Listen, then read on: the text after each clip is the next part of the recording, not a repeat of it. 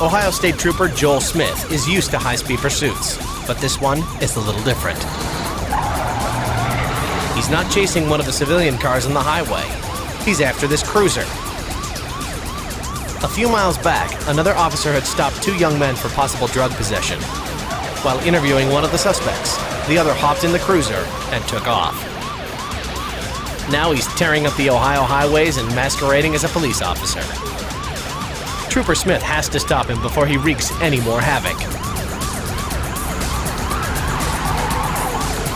But unlike most pursuits, this one has robbed police of many advantages. The stolen cruiser is every bit as powerful a machine as the one Trooper Smith is driving.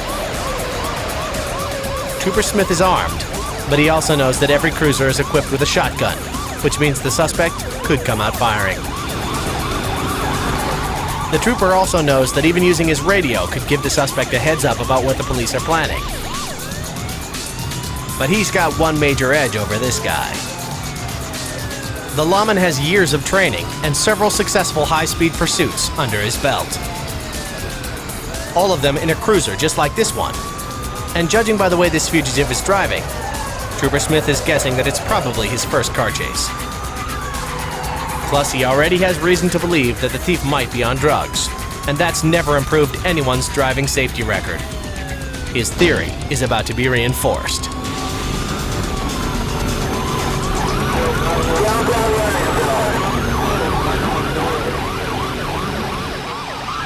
With a roadblock rapidly approaching, the suspect's lack of driving skill is about to cost him.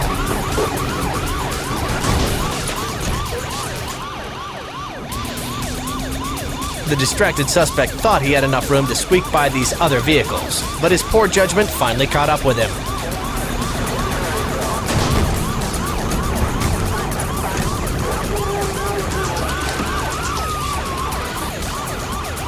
Police are able to arrest their suspect, but there's no satisfaction because the innocent motorist who was hit has been injured.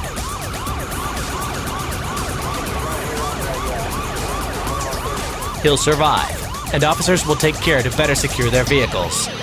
After all, while a cruiser may be a trooper's most important tool, in the hands of the wrong person, it's a one ton weapon.